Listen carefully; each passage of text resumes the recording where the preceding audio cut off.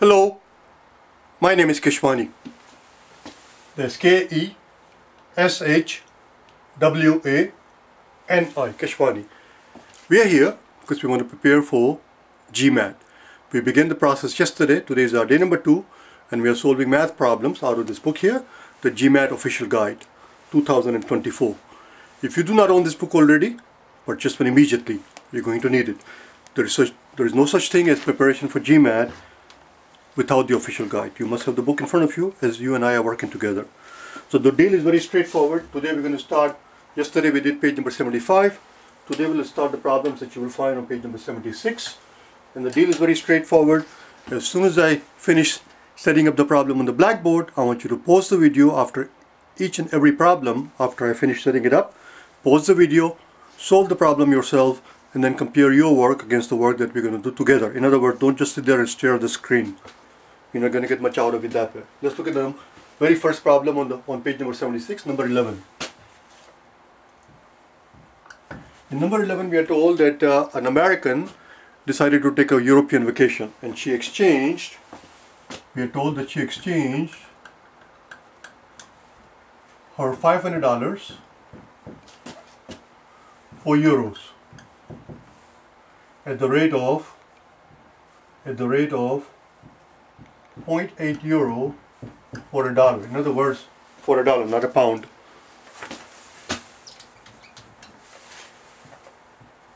In other words, for each of her dollars, she got 0.8 euro, 80 European cents. We are further told that while she was in Europe,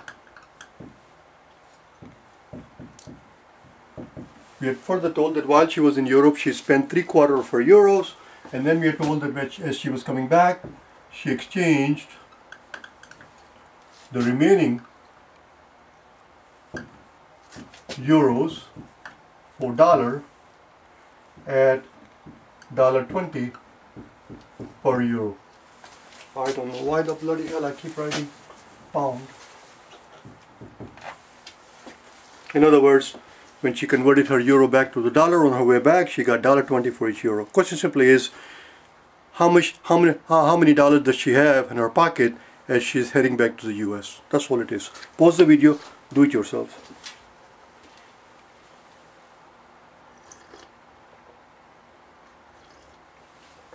So here we go. So we are told, so we know that we had $500 to begin with and we converted at 0.8 euro for a dollar. That was the first part. Then we are told that she spent three quarter of that amount, three quarter of those euros, and now she has one quarter left over. And that one quarter she exchanged again into dollar at one dollar and twenty cents for a euro. There you go, that's our answer. We just have to work on it, that's all it is, we just have to simplify. So let's begin. First we see the dollar drops out, because at the end of course we have to have a dollar left over. And the euros are going to drop out. And we are left with only the dollar, which is exactly what we want. So we have 500 times 0.8, which is 8 over 10, times 1 quarter, times 1.2, which is same as 12 over 10. So far so good. I see a 10 and a 10 here. Let's knock down the two zeros. There we go. That's it. We're almost done. What else can we do here? We have a 4 and an 8. Let's knock down this 4 and convert this 8 into a 2. There we go. 2,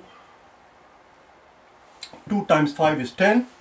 2 times 5 is 10 and 10 times 12 is 120. There we go. As we head back to the US after having finished our European vacations, we'll, we'll have $120 left over. Let's do number 12.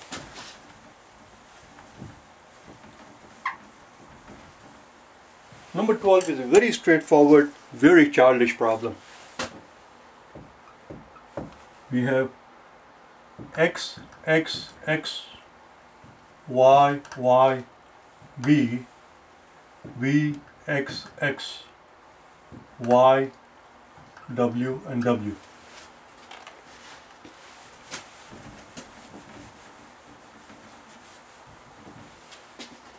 And we are asked to find the ratio of x or y over v or w. That's all it is. x or y. So let's find out how many x's we have. I see five x's here. I see five x's. How many y's? I see three y's. How many v's? I see one here and one here. So that's two. And the two w's right here. One w here, one w here. There you go. 8 over 4. 8 over 4, the ratio is 2 to 1. Number 13, as I said, it's, it is a very childish problem. Number 13. I didn't give you a chance actually to pause the video. I'm sure you don't need 5 seconds to pause the bloody thing. You can pause the video immediately after I finish setting it up. Number 13. In number 13 we are told that we have three jars and the jars are labeled P, Q and R. Here we have red beans, green beans or green marbles, whatever you like, and here is the total. We are told this is X, this is Y, this is 80, Y, Z, this is 120, and uh, uh, and in, in the jar R we have X and Z and we are told the total in this jar is 160. The question simply is what is the number of green marbles in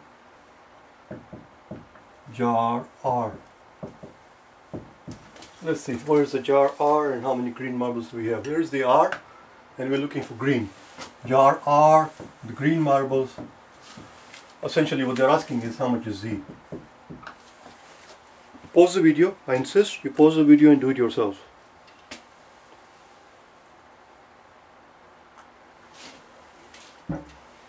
So since we are interested in finding out z, somehow we have to find out if we can isolate the z. There go, I just see it here. Here we have x and y and here we have x and z. If we can somehow work with these two equations, we can knock out the x's and we'll end up with y and the z. And once we have an equation with y and z, we can use this equation which also has y and z and we can knock out y and we'll have our z. Let's do it together.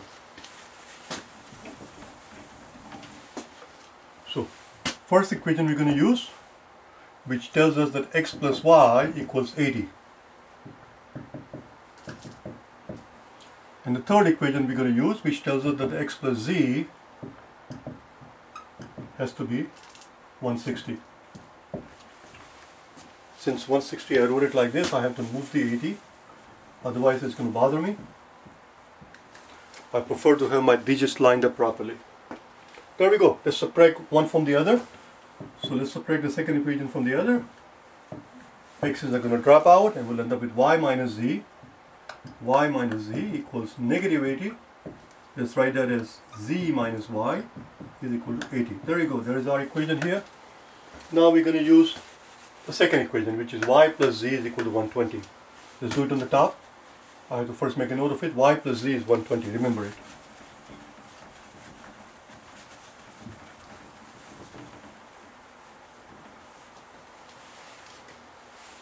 y plus z is 120 and here we have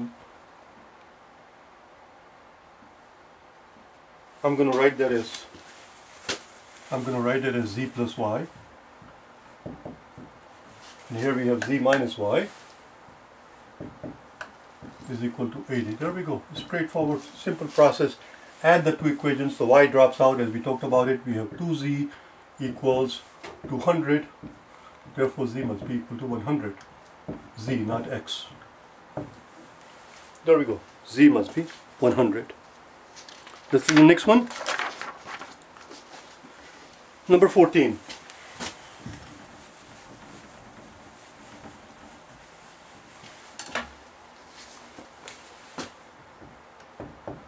in number 14 we're going to help out a florist, a florist who's trying to make bouquets, and the bouquets we are told have to be identical. We are told bouquets that we're going to make must be identical. In other words, they have to have same number of uh, each of the flowers, same colors. we can't have two of one and three of the other, and the other one we have seven of one and 13 of the other. The bouquets have to be the same because obviously it's going to sell the book. You got the idea. We are told that we have 85 red roses and 15 white roses. And we also told that we must use up, we must use all. We can't have any leftover. The question is very straightforward, very simple. The question simply is, what is the greatest number of bouquets can we make? The greatest number of bouquets can we make satisfying satisfying these conditions. Conditions is that we have to use up all the flowers, all the bouquets look almost identical. What's the greatest number of bouquets can I make out of this 85 red roses and 15 white roses? Do it yourself, pause the video.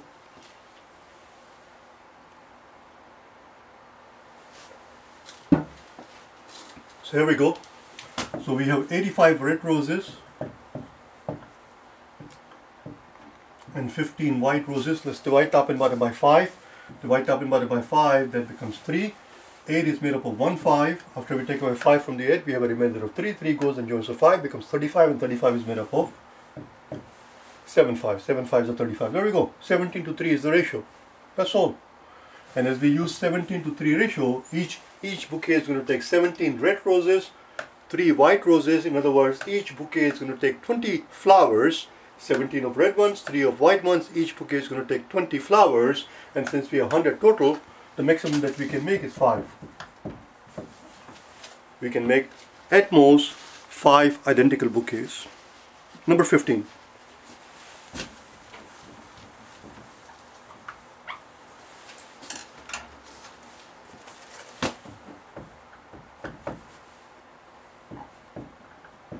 Number 15 is another one of the childish problems that they've given us.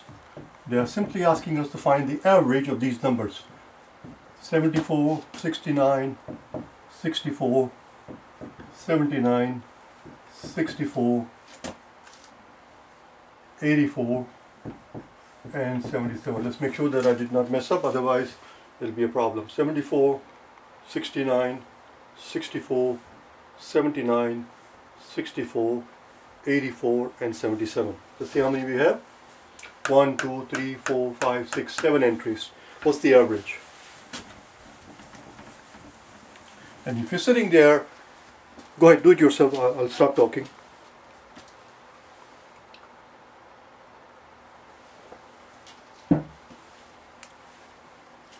If you're sitting there and doing the average in a very classical, very orthodox, very, very arithmetic way, the classical way, the traditional way, the orthodox way, the geeky way, the nerdy way, you're missing the point.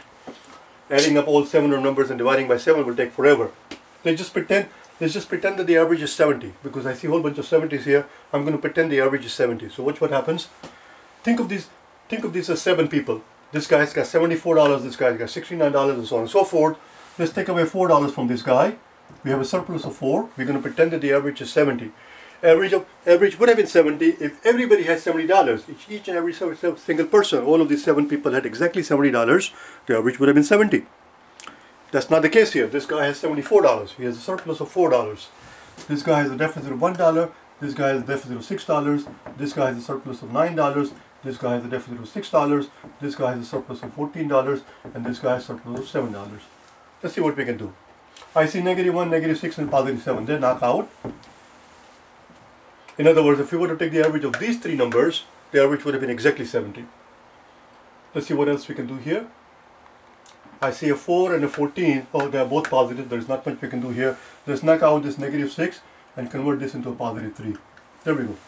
There is nothing else we can do. So we have a positive 4 and a positive, positive 3 and a positive 14. That's a 4, not 14. The first entry is 4. There we go. 4 plus 4 plus 3 is 7. 7 plus 14 is 21. We have a surplus of $21 which needs to be divided equally among 7 people. In other words, we were wrong. The average is not 70. The average of these numbers is in fact 73. Number 16.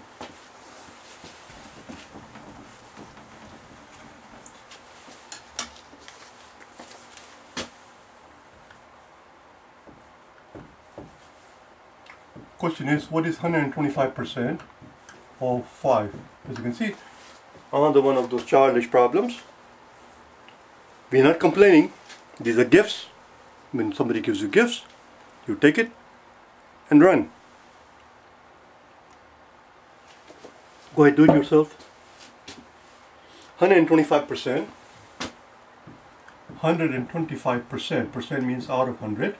Of means times 5. Let's see what we can do. Uh, I'm going to divide top and bottom by 25. I was about to divide these two by 5, but that's going to become very ugly. Let's divide top and bottom by 25, that becomes a 4, and that becomes a 5. There we go. 5 times 5 is 25. 25 over 4 is 6 and a quarter. The answer is 125%. 125% is 6 and a quarter. Of course it's 6 and a quarter because 100% 100% of 5 is 5. We need another 25%. If 100% of 5 is 5, the 50% of 100 50% of 5 must be 2.5. Therefore 25 must 25% must be 1 and a quarter. And hence 6 and a quarter. Number 17.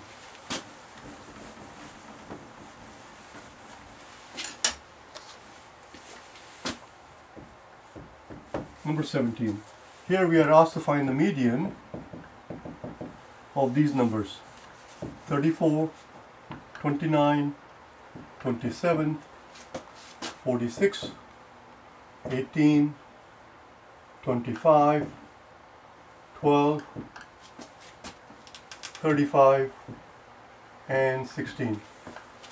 1, 2, 3, 4, 5, 6, 7, 8, 9. There are 9 of them. Since there are 9 of them, it's a silly problem, very straightforward problems. We have to find the median, we have to find the middle number. Since there are 9 entries, the median is going to be the fifth one. We have to look at the fifth one. 1, 2, 3, 4 and 5. This is the guy we are interested in. Let's find out. The lowest one I see is 16. Then we have an 18. That's the whole idea. You just take your time. Oh, I missed 12 already. You see, this is exactly what I was talking about. That's not how it works. These questions are not difficult, but you do need to pay attention. So 12, 16, 18, then I see 25, and the next one is going to be 27. There you go, by golly. That's our median. What these entries are, we are not really interested. What those entries are, we are not interested. 1, 2, 3, 4, 5, 6, 7, 8, 9. 1, 2, 3, 4, 5, 6, 7, 8, 9. So we need one more. With these four entries I really don't care. What we are interested in finding out what was the fifth entry, which is found in the fifth entry is 27. That's your median. That was the end of the page. That was the eh, end of the page number 76 and that's the end of our show. We'll meet again tomorrow and we'll do the next page. Alright? Bye now.